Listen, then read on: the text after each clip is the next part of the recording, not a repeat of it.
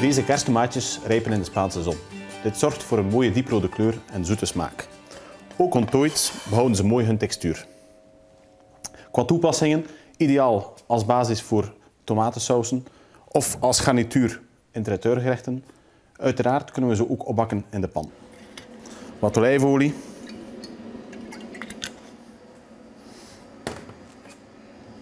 Ik heb enkele scampi's voorzien.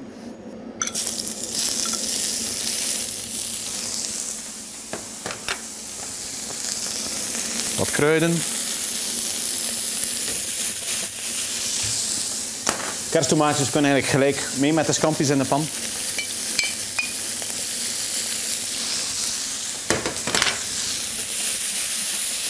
Aanvullend heb ik nog wat spinazie voorzien en dan onze pasta.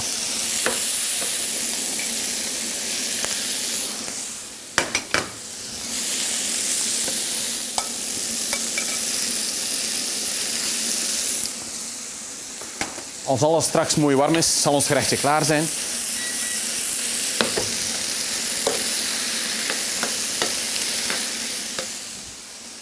We nemen er een diep bord bij.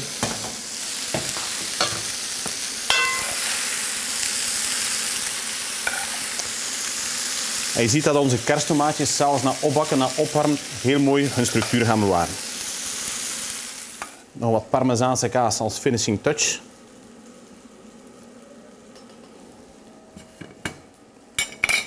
En we hebben een lekker eenpansgerecht. Nog een laatste suggestie. Onze kersttomaatjes kunnen we ook gewoon bakken in de oven samen met wat olie, wat kruiden, wat look.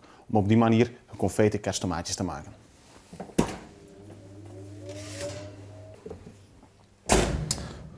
Zo, een twintigtal minuten in de oven met de aromaten op een lage temperatuur. Deze tomaatjes kunnen we zowel warm als koud gebruiken. Smakelijk!